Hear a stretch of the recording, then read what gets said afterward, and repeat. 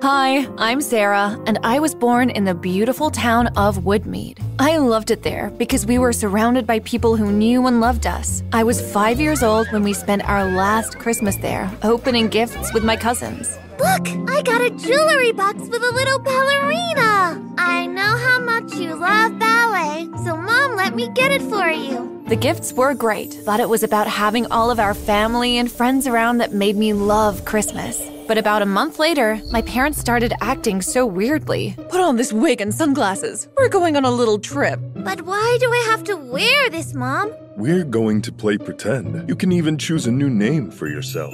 Ballet shoes. I want to be called Ballet Shoes. And ever since then, we've never been back to Woodmead, not even to see family. I was homeschooled, and I wasn't allowed to speak to anyone. When I was around 10, I got so sick and tired of her life, I ran out the gates and into the forest.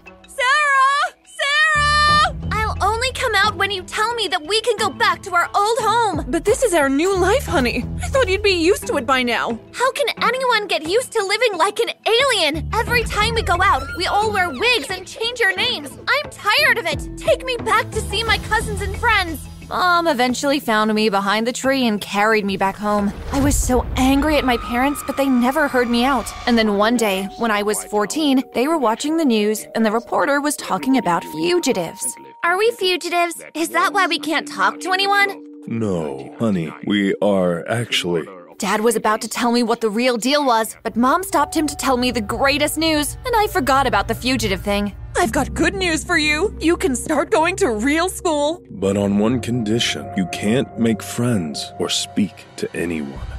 I was so excited to finally get out of the house, so I didn't worry much about the terms and conditions. On my first day of school, I was so excited, but it soon wore off. As I walked down the school corridor, I noticed everyone staring at me. They whispered as I walked by, but I knew I couldn't speak, so I just rushed to my class. When I got into the class, the teacher smiled at me strangely and introduced me to the class. Class, this is Sarah. Do you remember me telling you about her? The teacher suddenly started speaking to me like she had a speech problem. Welcome to class, Sarah. I thought it would be different at school, but I still felt like an alien. Everyone acted so strange.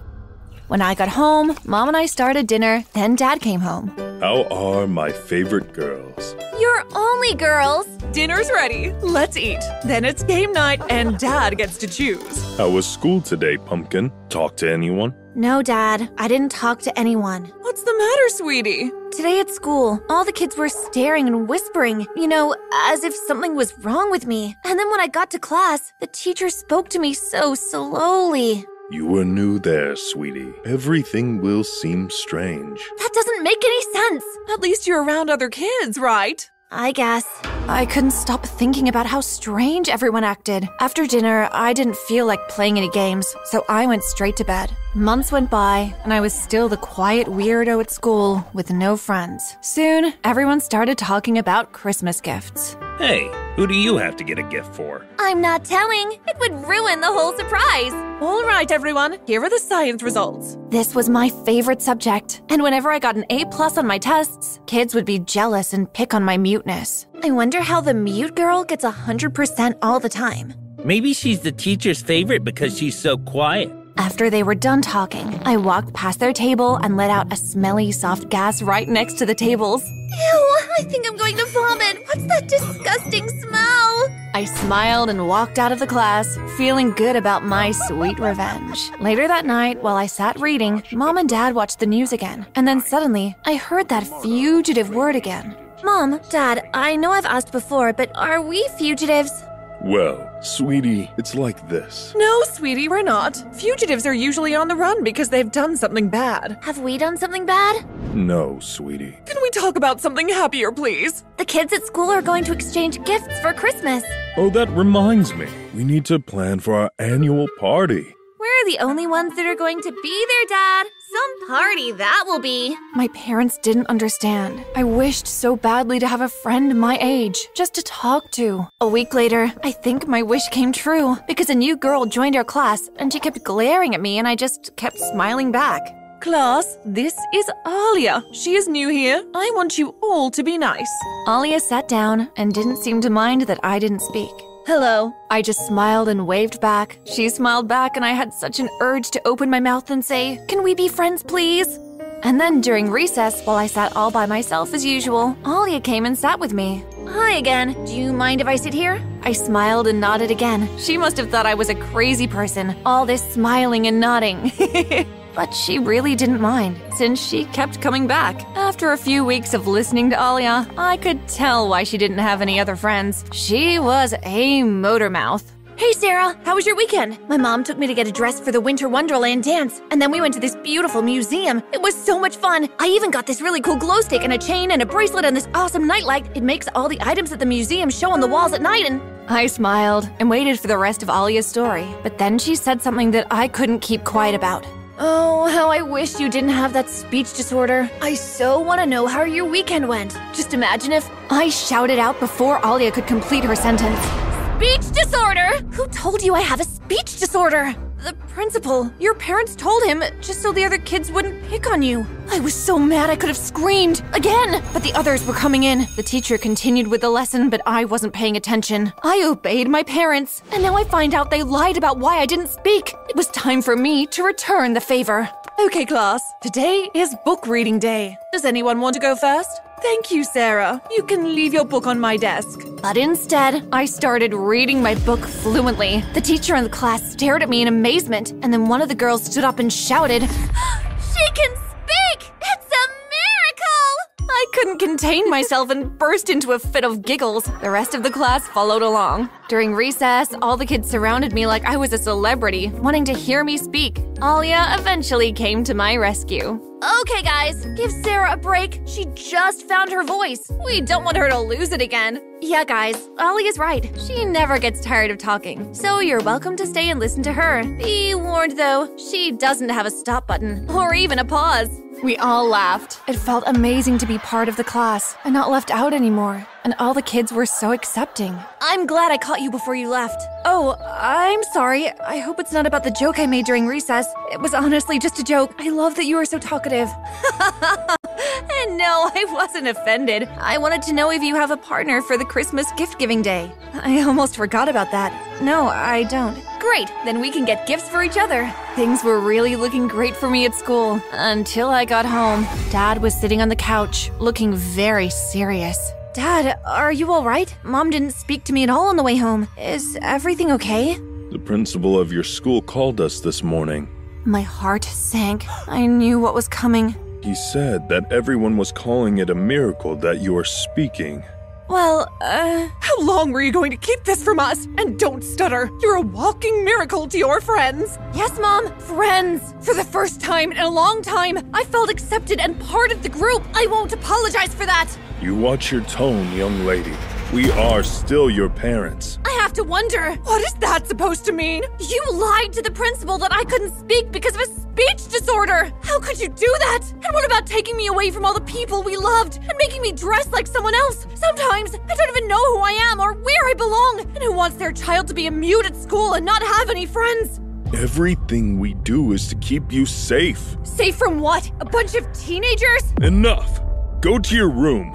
Ugh! Mom and Dad were being so unfair, and I felt like an animal stuck in a cage. The next morning, I went to the kitchen and Mom and Dad were there. I ignored them, but they looked so sad.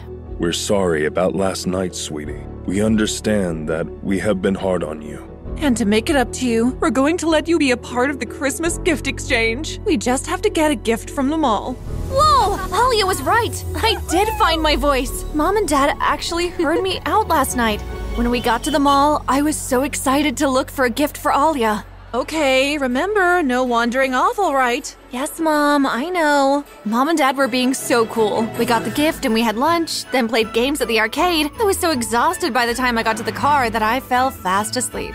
Wake up, Sleepy. We're home. I felt like I slept for hours, but I couldn't have because when Mom woke me, she said we were home. The only thing was, this wasn't home. The more I looked around, the more confused I was. Mom, Dad, where are we? This is our new home. No, it's not. I want to go home.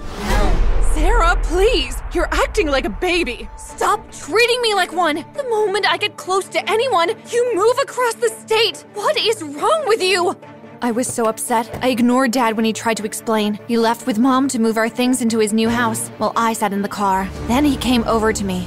Sarah, are you all right? No, Dad, I can't do this anymore. It may have been fun when I was little, not anymore. Okay, it's late. We should head inside. Tomorrow we see the new school. What do you say, sweetie? I say no! Eventually, I gave in and started in the new school. For this next experiment, I want you to pair up. After the teacher gave his instructions, Lincoln approached me. He was this guy that no one paid attention to since he dressed like a goth. Well, looks like that's you and me. He did the exact opposite of what the teacher said and started pouring yellow liquid into the beaker. Relax, you'll see. And this goes in next. And the next thing I knew, we were covered in green goop that exploded all over us. Oops, I guess I heard wrong. We were sent to get cleaned up, and as we walked, Lincoln talked and talked. So, what's your story? I heard that you can't speak. Were you born without a tongue or something? It felt like deja vu, and I was so angry at my parents for spreading this lie again, so I just told Lincoln the truth. I have a tongue, so you can squash your crazy theory. I just can't make friends. Wow, you're actually good at it. Talking, I mean. You know, it might help you make friends. You think I don't know that? Before I knew it, I had told Lincoln my whole sad story. I felt good getting it off my chest, and I didn't take Lincoln for a gossip. But when I got to school the next day, I realized I was wrong about him. What's it like having fugitive parents? Excuse me? Have you always been on the run? Then I knew Lincoln gossiped. When I found him, I let him have it. How could you? I never said we were fugitives! I must have heard wrong.